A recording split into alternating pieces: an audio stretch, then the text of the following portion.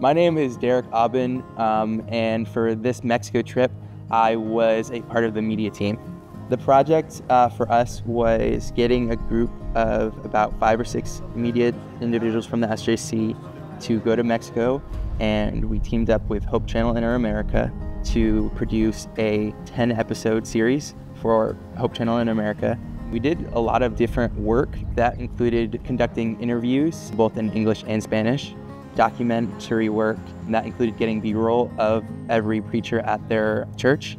That meant just preaching the gospel with our talents that we have.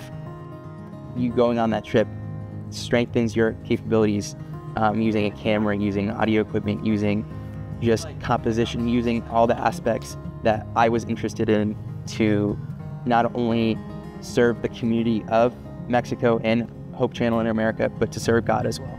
So I'm glad that.